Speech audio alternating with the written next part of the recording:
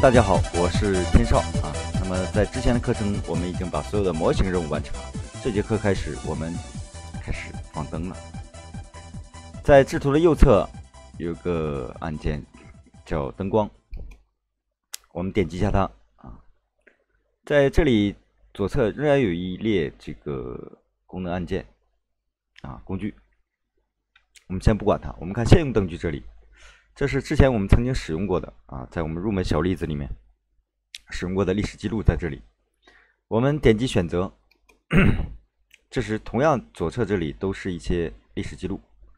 我们找到目录，当然这个目录呢，如果是你没有安装过插件，它肯定是会选择这个 MERN 的龙社区啊。那这里呢，是我安装了这个安装包，这个安装包呢是在呃。灯具公司的官网，或者是在这个制造商这里，或者是可以在我们 QQ 群里面直接下载啊，不用那么麻烦啊。所以所有的素材都在我们的 QQ 群内啊。好了，我们双击这个欧普照明这个插件啊啊，刚才我打开过了，我再重新演示一下。双击欧普照明插件啊，就出现了这样的一个列表啊。我们选择哪个呢？China。然后产品搜寻，我们看。这里有射灯啊，有很多射灯，对吧？好了，我们首先看一下这个之前我们做的平面图啊，这个灯具布置图。这里面有五款灯具：L 零一啊是固定角的七瓦三千 K 二十四度，零二是可调角的七瓦三千 K 二十四度，零三是三瓦二十四度的小射灯，零四是九瓦筒灯，零五是灯带。在入口处这里还有电视机两侧啊，还有这个。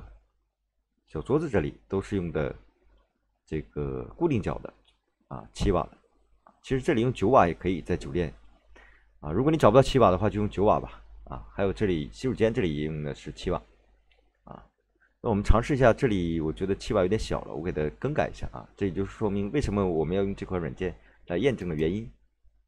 好，我们在这搜寻，输入关键词九瓦啊，九 W，我们看能搜出什么？回车。还真有这些都是九瓦的，是吧？但是好像看不全，你往后拉一下啊。这个格栅方形的，有没有圆形的呢？没这款，这是无边框的，是吧？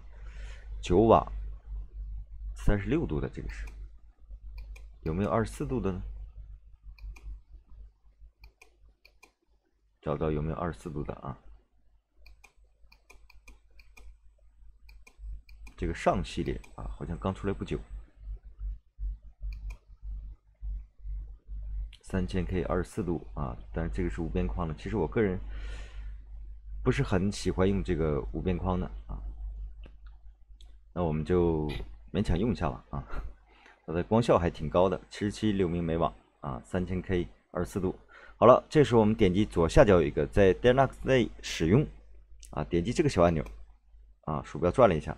然后没了，没了之后，我们回到 Deluxe 软件看一下，哎，这时它被发送到了我们这个现用灯具这里啊，就是意思它有这个插件导入到软件了。好了，我们回到平面图啊，我们看有 L 零一的地方有哪些呢？像这个桌子这里这个小射灯啊，我们点击置入单个灯具啊，在这儿点一下啊，这个小射灯就进来了。我们看一下三 D 视图，哎，在哪儿呢？在这儿啊，这个小射灯。这个时候，有些朋友会有些疑问，就是我们这个鼠标滚轮滑到一定程度，它就往前滑不了了，是吧？走不了了。退到一定程度，它也退不了了。所以这个时候，我们再想继续前进怎么办呢？除了可以这个回到放大至整个场景的位置啊，然后再一点点去调，还可以利用键盘上面的 ASDW，注意 ASDW。这玩过游戏的人应该知道，我们什么穿越火线呐，什么 CS 啊，反恐精英，还有吃鸡，这几个快捷键都是行走的快捷键，是吧？是不是很好玩？啊，好了，我们选中这个灯，可以看一下啊。我们在右上角这里小电视这里有个显示选项，我们点击一下它，在倒数第二项有个显示灯光可视化，我们看一下，点击一下它。这个时候，哎，我们看这个灯光效果，它有个预览，对吧？但是预览的渲染效果呢，并不是很完美啊。它在一定范围内可以去预览。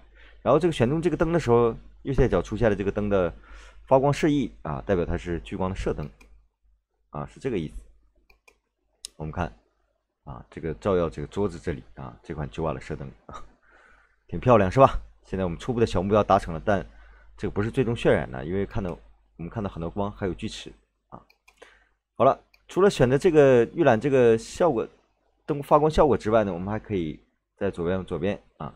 有个显示配光曲线，这里点击下它，这个时候我们就看到红蓝相间的配光曲线。红蓝代表是这个蓝色，代表的是这个光强发光的这个出光示意啊，红色代表的是一个半光墙面啊。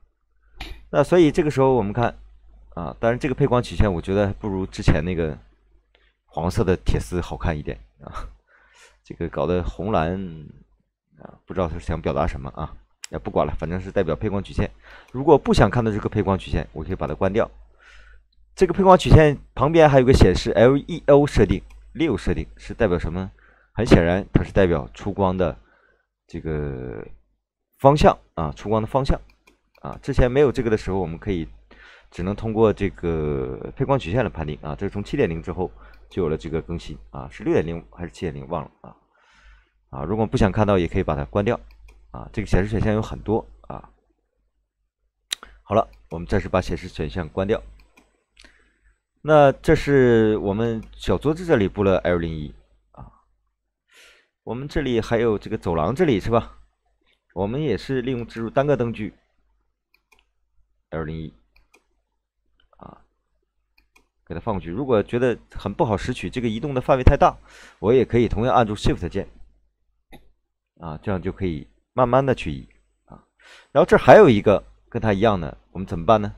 除了利用点击置入单个灯具，我们还可以利用 Ctrl C，就是复制粘贴啊，在原地 Ctrl C，Ctrl V，复制粘贴出来一个，你看，对吧？你怎么知道复制粘贴出来的一个呢？你移动一下就知道了。注意，这时我是按住这个绿色的箭头，它它就只能在这个纵向上来回移动了。好，你看。我是不是多复制出来一个？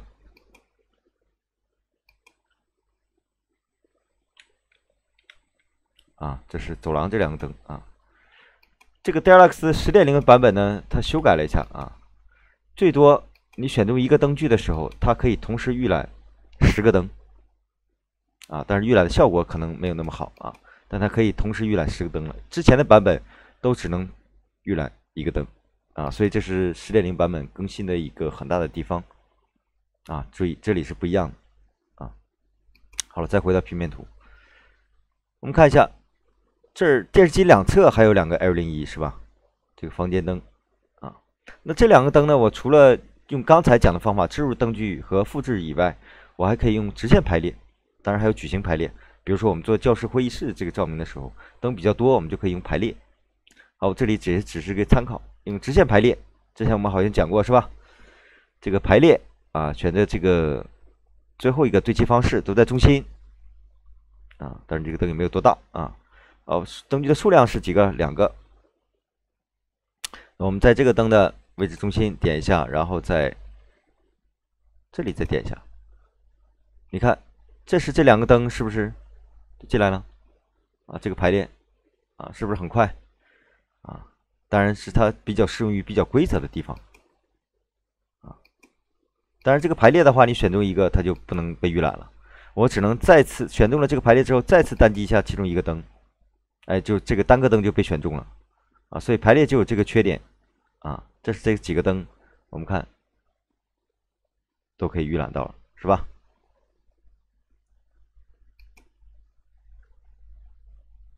啊，这桌子有个台灯啊。台灯一会儿我们再再去找吧，啊，好了，这时这个四个 L 零一我就都布置好了啊，这就是利用我们这个插件啊，插件去选择这个灯具啊，是不是很简单呢？